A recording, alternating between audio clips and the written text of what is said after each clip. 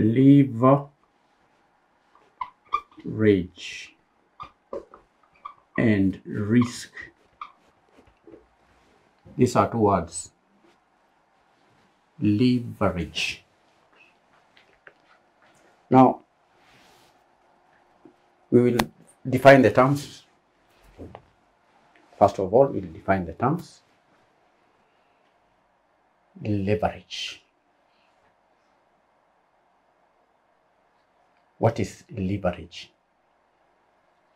Now, this word leverage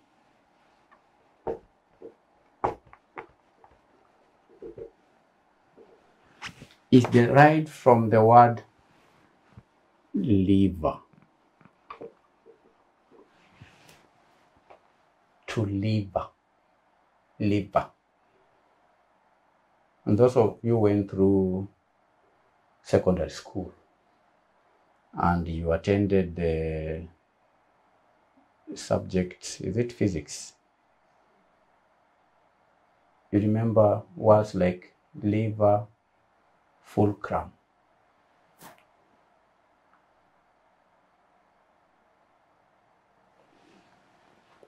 That's the origin of this word, candidates. Lever, lever, to lever. To lever is to to lever is to amplify, to push, to amplify, to lever, to lift.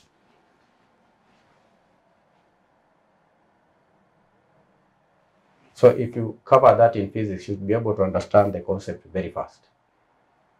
Because I've always said, candidates, that we learn through correlation and repetition. So if you understand to lever as we study it in physics, then you will be easy, it will be very easy for you to understand when you are talking about leverage in finance. And if you didn't cover this in physics, then maybe the thing that comes to your mind is this one lever. And I was rubbing this one, is what came to my mind. Just remember this, it's been long since I took this one. Lever, it's been long.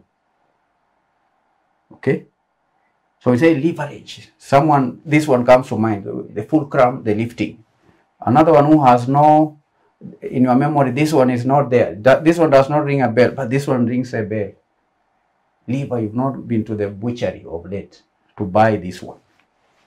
Okay? But my point is we learn through correlation. We correlate things.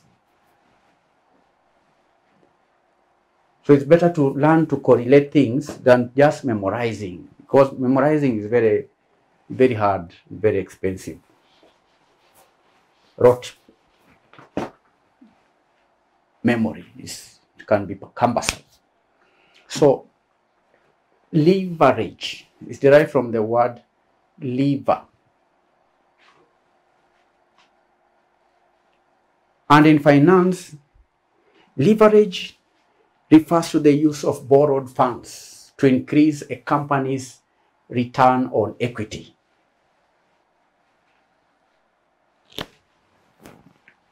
Refers to the use of borrowed funds refers to the use of borrowed funds Listen to this word. To do what? To increase. To increase.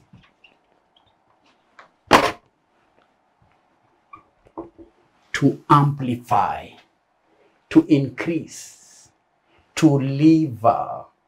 To increase a company's return on equity.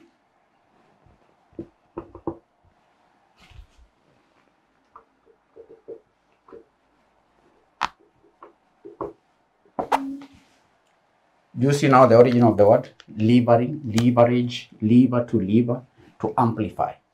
So a company may use borrowed funds, borrow money, borrowed funds can be used to increase a company's return on equity. And these borrowed funds can lever, these borrowed funds can increase, these borrowed funds can amplify both process and losses. If you are not careful, this leverage can also be counterproductive.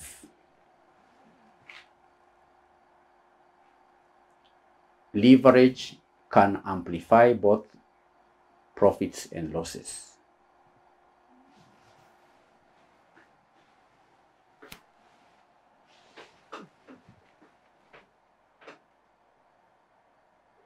Sometimes we say geared, gearing, gearing. Again, look at that word. Another word for leverage is gearing. The word gearing is derived from the word gear. When you say we are shifting gears, shifting gears, which we are increasing. What is being increased here? It's a return on equity. It is an increase in profitability. You understand? So leverage is the same as gearing. When you say a company is highly geared, when you say a company is highly geared, when we say the leverage is high, then that means that the firm has used significant amount of borrowed funds in its capital structure.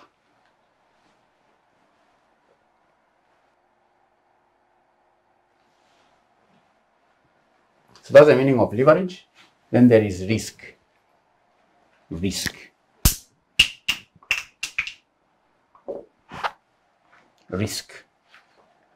Now, risk, simply put, candidates, risk refers to the potential for financial loss.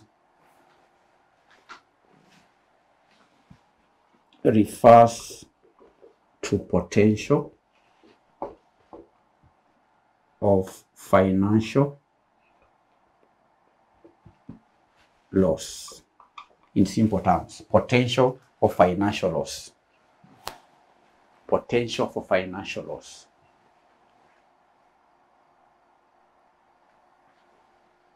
Now we've defined leverage.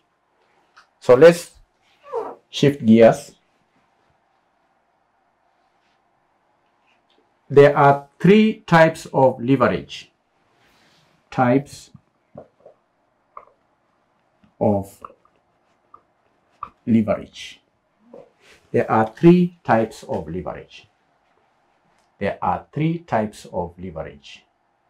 One, operating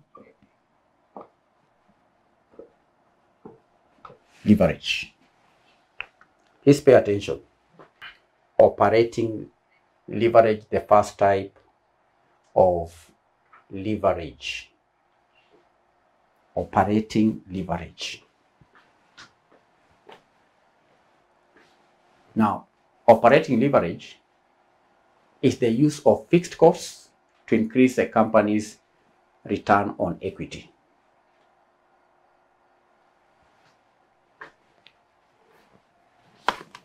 It is the use of fixed costs to lever, to increase, to amplify a company's return on equity or, or just profitability which is the use of the fixed costs to increase a company's return on equity. To increase a company's return on equity.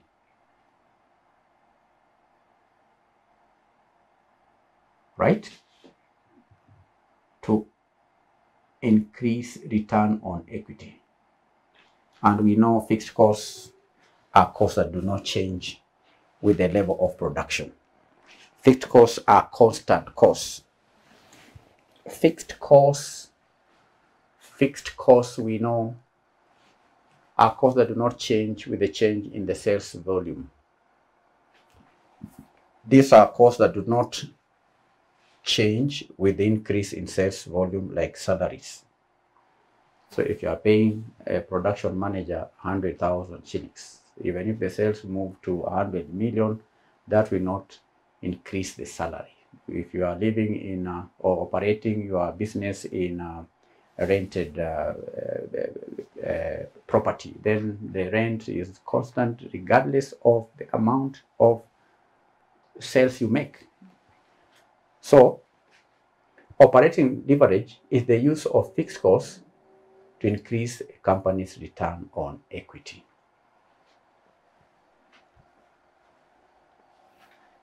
Understand? So we have operating leverage, then again we have operating risk. What is operating risk? Operating risk. You recall we defined risk as the potential for financial loss. Now I'm using simple terms, candidates. But by potential, I mean possibility. Potential, possibility of uh, financial loss refers to the potential.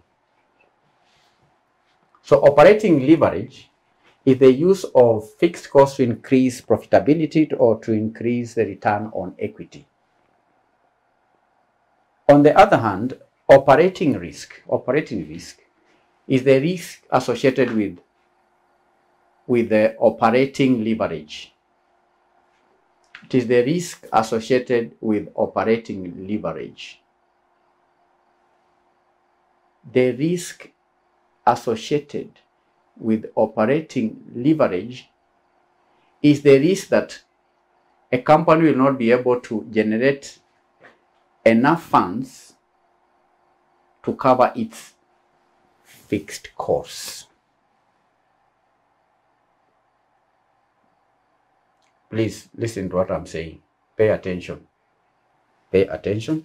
Pay attention. What I've just said. What have what have I just said?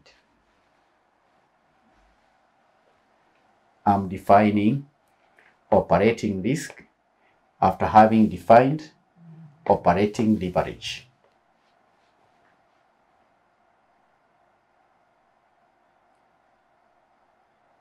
Companies use fixed costs to increase profitability or return on equity.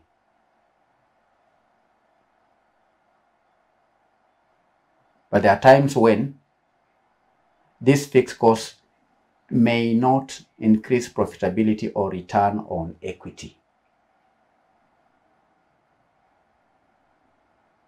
So that risk, which is the potential for financial loss,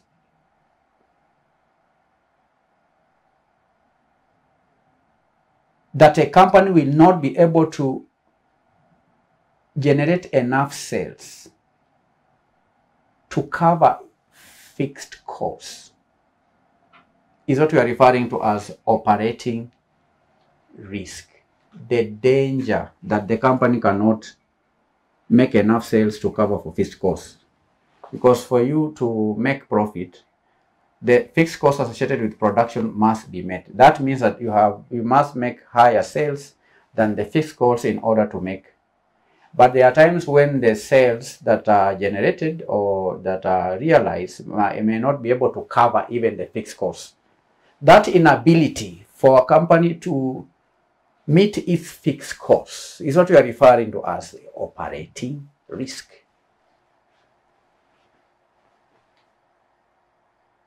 And that can lead to significant losses.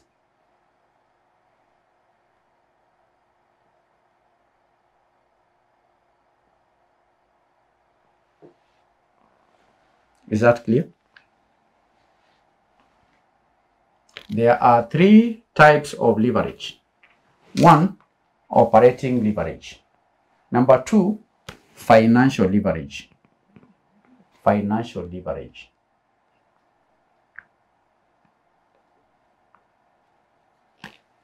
It is, let me write it, it is the risk that the company may not, what did I say? That the company may not, may not do what? The company will not be able to generate enough sales. Generate enough sales to meet its fixed costs. Then the second type of leverage and risk is a financial leverage. Financial leverage.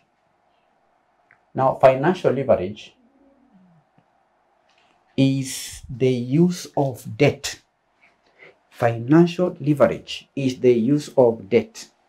Financial leverage is the use of debt. Financial leverage is the use of debt. It is the use of debt. Financial leverage is the use of debt. To do what? To increase a company's return on equity or profitability.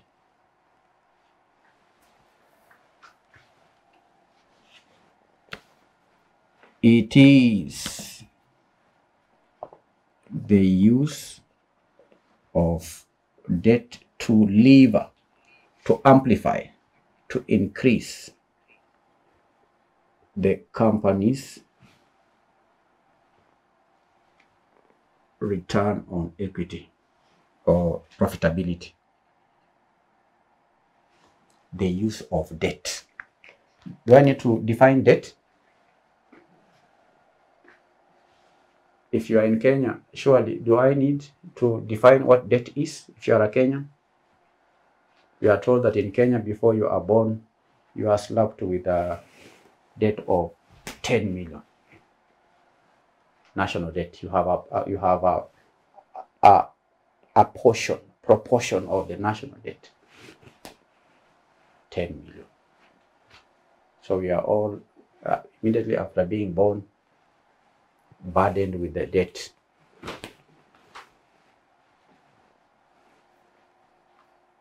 So in business candidates, the use of debt to increase the profitability of a company or return on equity is what we're referring to as financial leverage.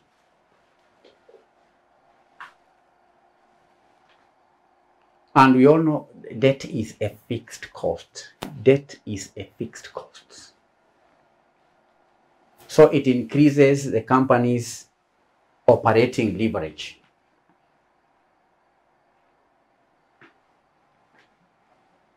Do you see the connection? We learn through correlation. Hmm? We, we learn through correlation. Can you correlate? Financial leverage is the use of debt, which is a fixed cost. So if debt is a fixed cost, it also increases operating leverage.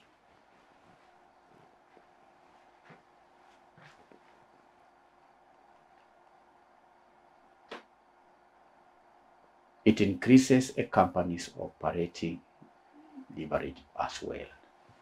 Financial leverage. So if financial leverage is the use of uh, debt to increase the company's uh, profitability, then what is what is uh, financial risk?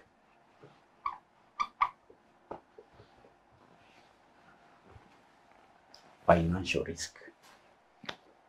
Financial risk. Now, financial risk is the risk that is associated with. It is the risk associated with financial leverage. It is the risk associated with financial leverage. Financial risk.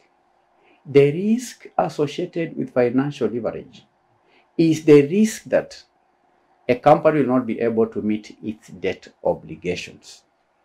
It is the risk that the company will not be able to meet its debt obligations.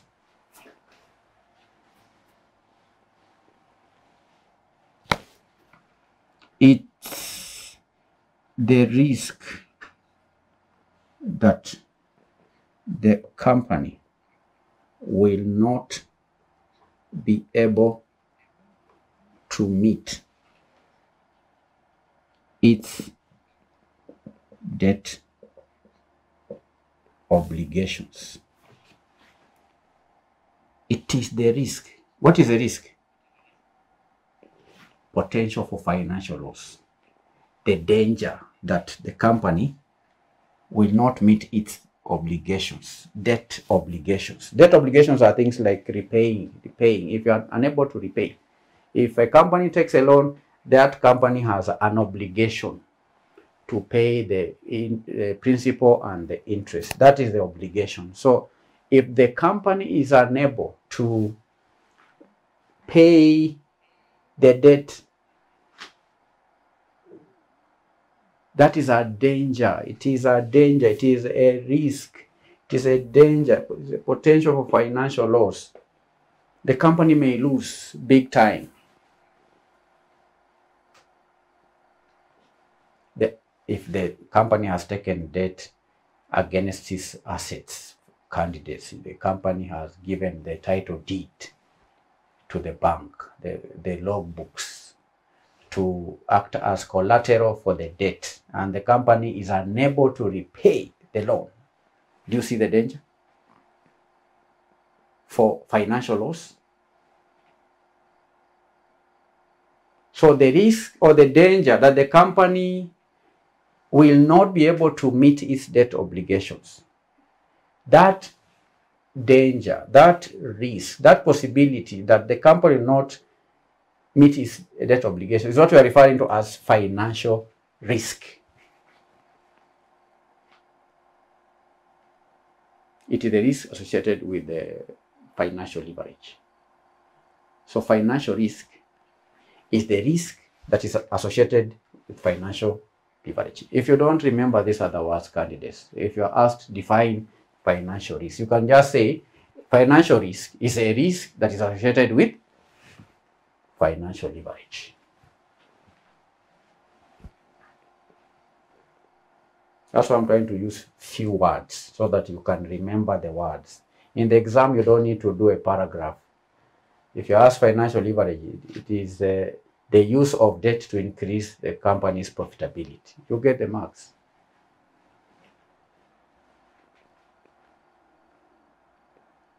You don't say this is whereby, for instance, when you are running a company limited by shares and you are the finance manager and you are appointed by the board of directors and you are sitting in an office where you are the head of the department, uh, this is whereby, this is whereby, this is whereby, this is whereby. We see a lot of that in your answers, please. You can avoid that. This is for instance. This is for instance whereby. Peradventure. For example. Okay, you don't have to do that. Learn to summarize these things so that you hit it on the nail on the head. You hit the nail on the head. All right? So there are three types of leverage. Number one, operating leverage. Number two, financial leverage. Number two, financial leverage. Number three, we have total leverage. Total leverage. Total leverage. Total leverage. Total. Total. Total. Total leverage. Total leverage. What is total leverage? Total leverage is the combined effect of financial leverage and operating leverage. It is the combined effect of operating leverage and financial leverage. It is the combined effect of operating and financial leverage.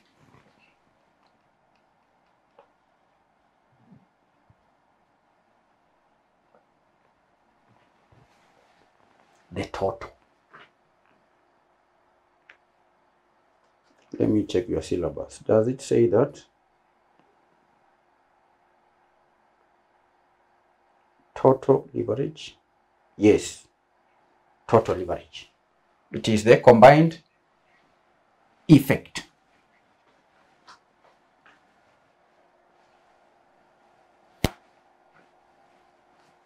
Now, if total leverage is the combined effect of uh, operating leverage and financial leverage, then what is total risk?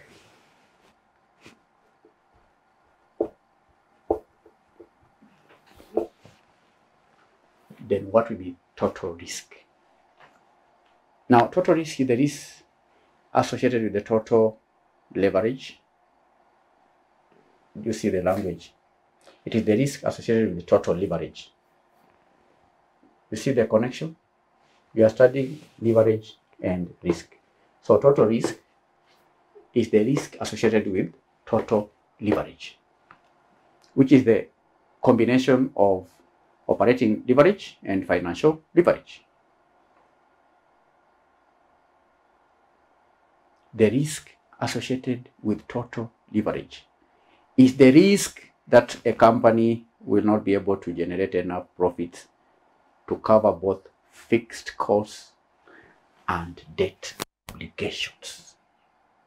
It is the risk that the company, it is the risk that the company will not generate enough profits.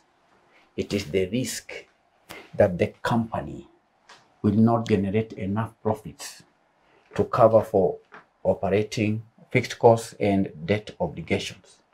Total risk is the risk that the company will not be able to generate enough profits to cover fixed costs and debt obligations. Total risk is the risk that the company will not generate enough profit to cover for fixed costs and debt obligations. Total risk is the risk associated with total leverage. Total risk is the risk that is associated with total leverage. Total risk is the risk that the company will not generate enough profits to cover both fixed costs and debt obligations. Total risk is the risk. It is the risk that the company will not generate enough profit to cover for fixed costs and debt obligations. Fixed costs and debt obligations. Fixed costs and debt obligations. Fixed costs and debt obligations. Operating risk and financial risk. Let's take an illustration. This we'll do in 15 minutes. Panda Limited deals with laboratory accessories. A dropper sells for 500 shillings per piece. A dropper sells for 500 shillings per piece and has of course equivalent to 50% of the selling price per piece of the dropper. It is a dropper, not a dropper. Dropper. The farm has a fixed operating cost of 500,000 shillings financing cost of 750,000. Further analysis of the farm reveals that if the farm sales increase by 10%, the farm's earnings before interest and taxes increase by 15%. And if the firm's EBIT increase by 10%, the firm's earnings per share increase by 12%. Required, calculate one break-even quantity of sales. One, break even point. Is it in sales? Is it in shillings or in units? Break even quantity of sales in units. So I write here units. Because break-even point can also be calculated in shillings. So if it is in units, what is the formula? Now this one must have gotten uh, these candidates off guard because uh, we normally don't uh, do break-even points in financial management. This I think you cover it extensively in uh, management accounting. But you see that is the nature of your examiner. That examiner can do his thing anytime. So what's the formula for break-even point in units? Is fixed cost, the total fixed cost. We divide by contribution.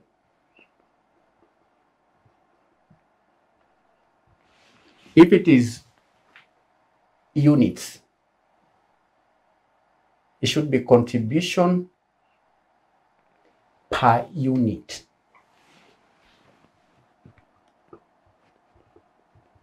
But if you ask break-even points in shillings, then it will be contribution margin ratio, CMR. So it will be a ratio to be zero point something. Because the contribution margin ratio is the contribution over sales.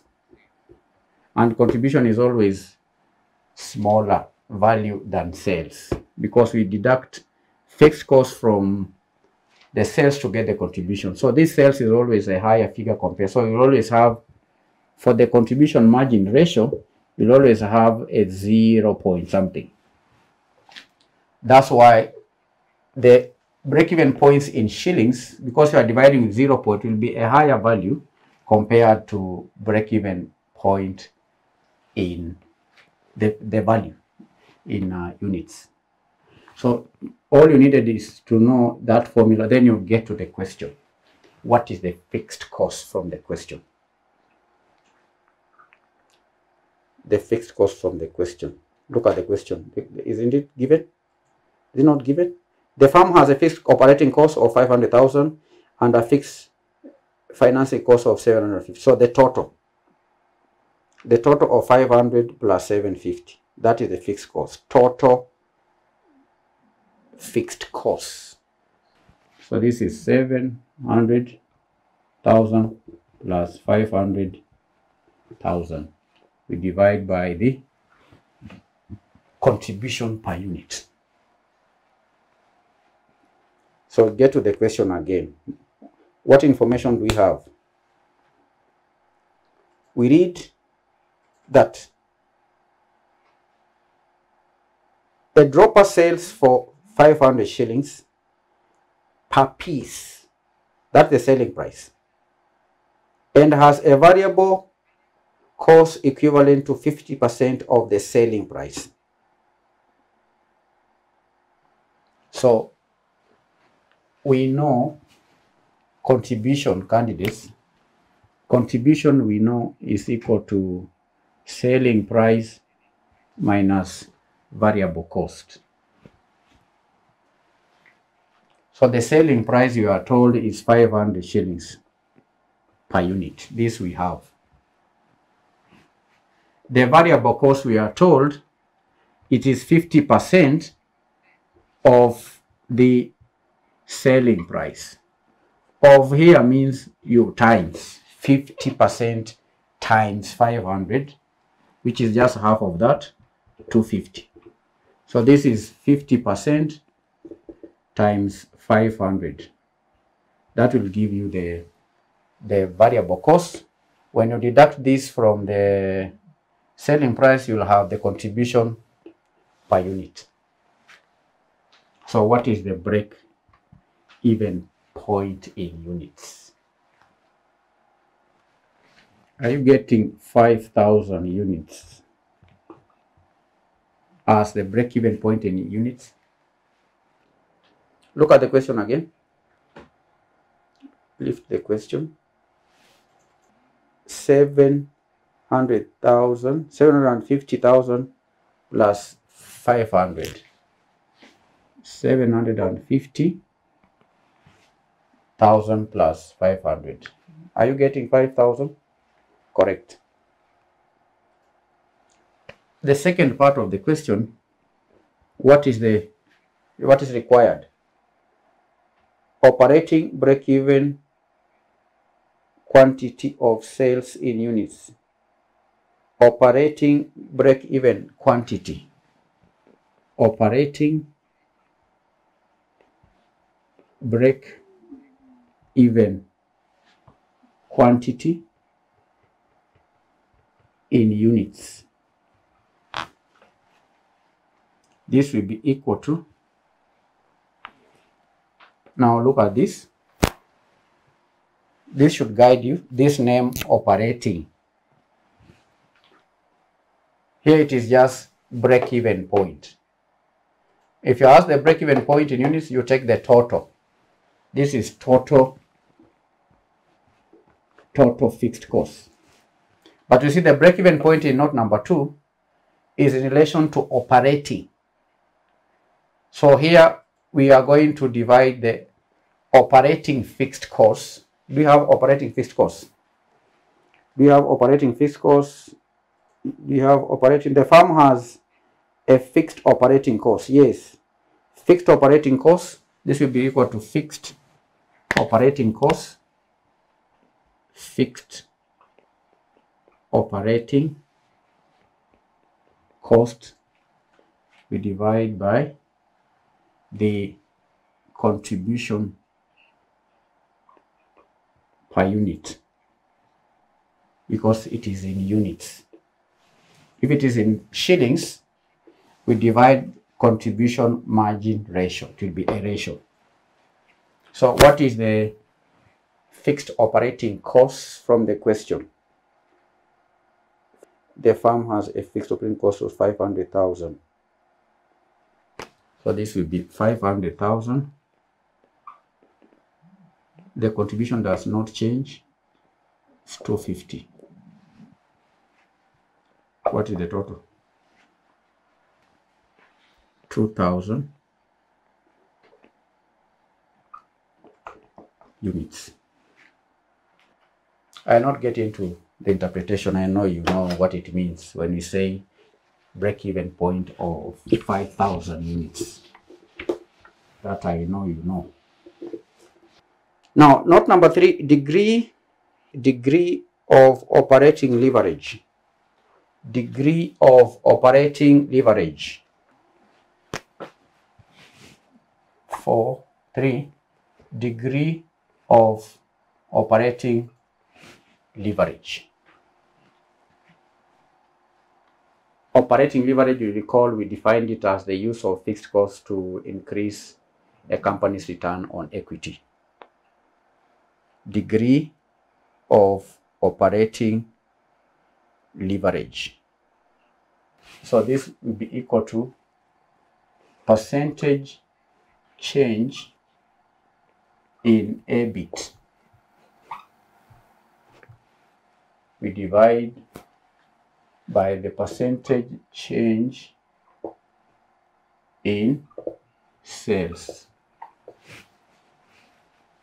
That is the formula for degree of operating leverage. Percentage change in earnings before interest and tax. before interest and tax. Now look at the question. Go to the question. Look at the question. Do we have the inputs? Last sentence there reads, Further analysis of the firm reveals that if the firm sales increase by 10%, increase by 10%, that already tells you that is a percentage change in sales. Do you see that? If the firm sales increase by 10%, comma, the firm's earnings before interest and taxes will increase by 15%. So this is equal to 15% divided by 12%. How much is it?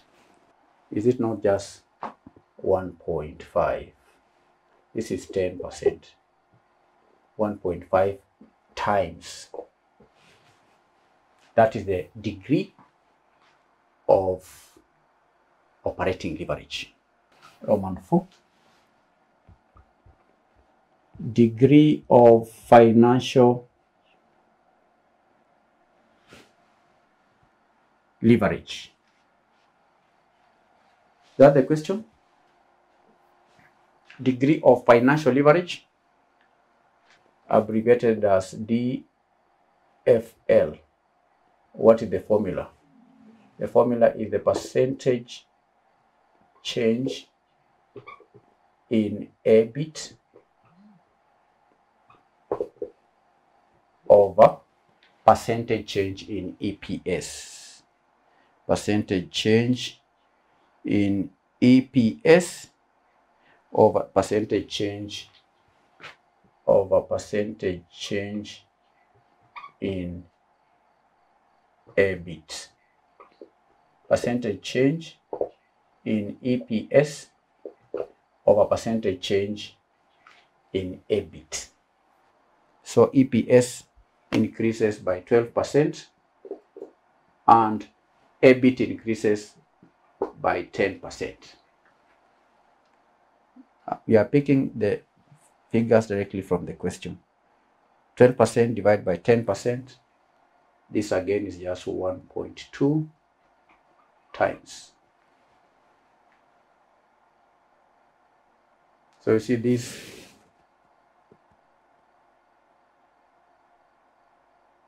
numerator becomes the denominator here. 1.2%, 1.2 times. Then number five, you are to calculate the degree of total leverage. Degree of total leverage. Five, degree of total leverage will be equal to degree of operating leverage times degree of financial leverage, which is equal to 1.5 times times 1.2 times. What is the answer? 1.2. Gilbert says 1.8. 1.8 times. 1.8 times. Now, it's not enough candidates to just know the formula and how to calculate and how to get the right answers. How to get the right answers. At this stage in your training, you should be able to interpret.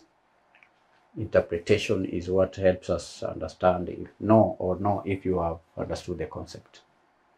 This is good just for the exam purposes, but in practice, in practice, you should be able to interpret when you are when you say the degree of operating leverage is 1.2 times. What does that mean?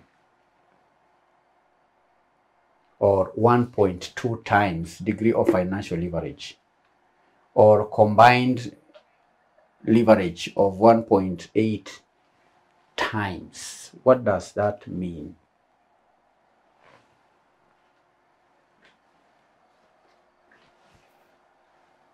These are leverage degrees, degrees of leverage. Now, degrees of leverage measure the sensitivity of a company's earnings to changes in sales volume. Sensitivity. Underline that word. The leverage degrees, these three leverage degrees, they help us to measure the sensitivity. How sensitive is the company's earnings to changes in sales volume? The degrees help us assess a company's risk exposure and its ability to amplify profit or losses.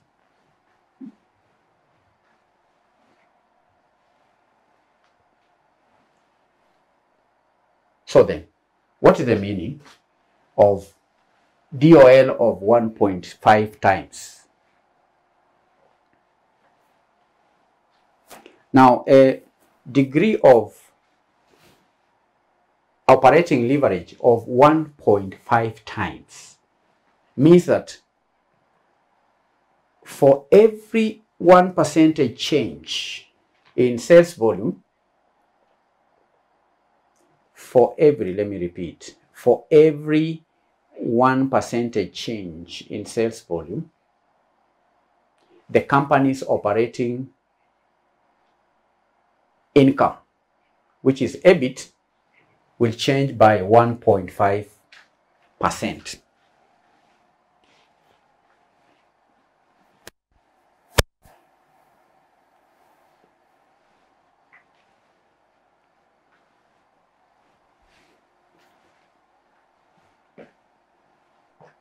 I started by saying that leverage degrees help us measure the sensitivity of companies' earnings to changes in sales volume. Have that at the back of your mind as I'm talking about the 1%. The degree of operating leverage of 1.5% means that for every one percentage change, one percent change in sales volume. If the sales volume changes by 7%, increases or reduces by 1%, then the company's operating income, the company's earnings before interest and tax, the EBIT, will change by 1.5%. So this degree of operating leverage, in other words, measures the sensitivity of operating income to changes in sales volume. There are just two things, candidates. You don't need to memorize what I'm saying. Just look at these two things. If this sales volume or sales changes by 1%, then the EBIT is going to change by 1.5 percent.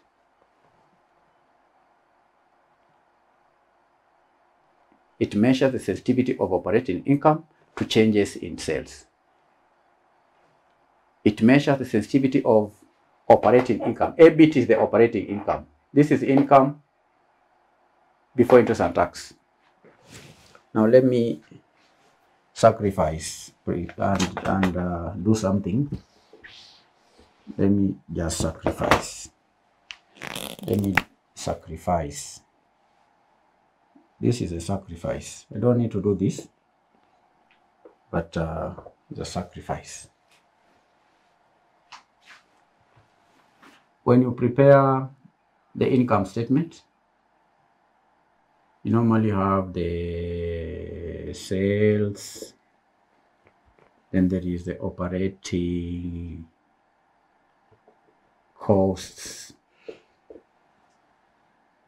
deduct operating costs. These are earnings or sales, deduct operating costs.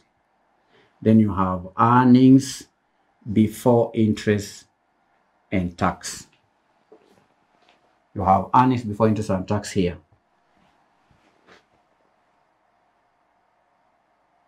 Of course, then you'll have the interest. You deduct the interest. After deducting interest, then you have earnings before tax. Do you see that? So out of this earnings before tax, you deduct the tax to have earnings after tax. Then you can go on and, and pay preference dividends, pay, pay the ordinary dividends, then you have you have money you, you take to reserves and all that. So when I'm explaining that, I'm expecting you to have this, you have this in your mind because this you covered in standard one, okay, in grade one, this one.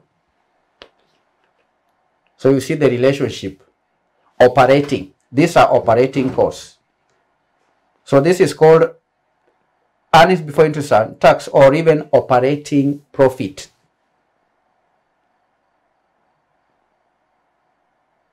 So if there is a change of 1% in these sales or earnings, whether it is an increase by 1% or increase uh, increase or decrease of 1%, then that change, 1 percentage change in sales will lead to a 1.5 percentage change in the earnings before interest and tax. That's the interpretation.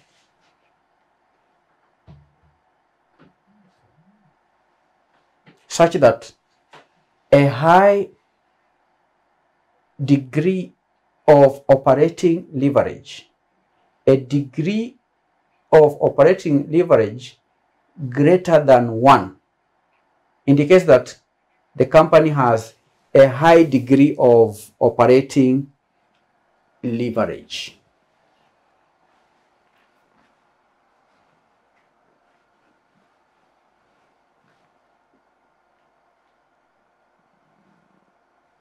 A DOL greater than 1 indicates that the company has a higher degree of operating leverage and that means that a small change in sales volume can lead to operating income, a very high operating income. For example, if sales, let me use different figures. For example, if sales, if sales, if sales volume increases by 10%, that means for this case, that operating income will increase by 15%. If you have a problem with 1%, let us use 10%. If sales volume increases by 10%, that means that the EBIT will increase by 15%.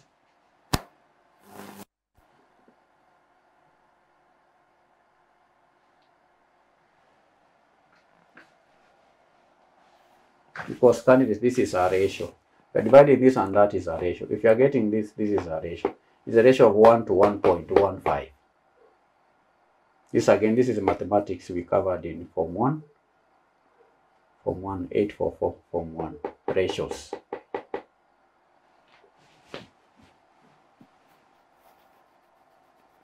So that is the interpretation for DOL. DOL.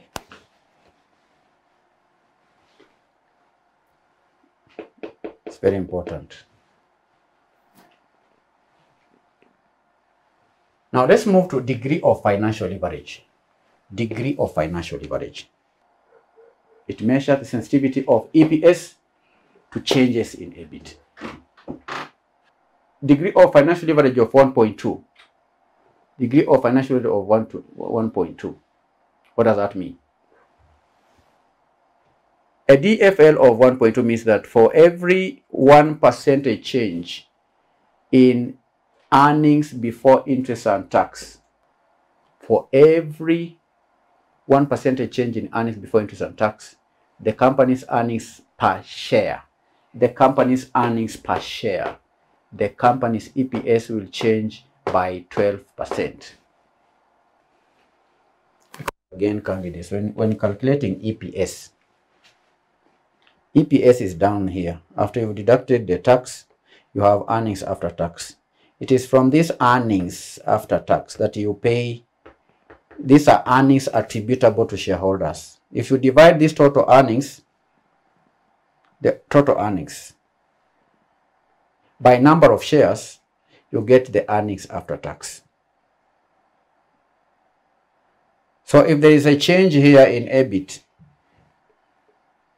of 10% increase, if this EBIT increases by 10%, then the earnings per share will increase by 12%. That's the interpretation. Then we come to degree of combined leverage. Now, the degree of combined leverage measures the combined effect of operating and financial leverage, the combined effect. So a DTL of 1.8%, a DTL of 1.8% means that for every 1 percentage change in sales volume, the company's EPS will change by 1.8%. The effect is the EPS. It will change by 1.8% such that a DTL greater than 1 indicates that the company has a high degree of total leverage if it is greater than 1 it has a higher degree of leverage. And that means that a small change in sales volume can lead to a larger change in EPS because you see this one is changing by 1% then this one changes by by 1.2 or it's changing by 10 10% that one changes by by 12 percent. For example, for the DTL, DTL, if sales volume increases by 10 percent, then the EPS is going to increase by 18 percent. So a company with a, a high DOL and DFL, a company with a high degree of operating leverage and a high degree of financial leverage is a company that is highly leveraged or highly geared. And that means that it is sensitive to changes in sales volume and interest rates.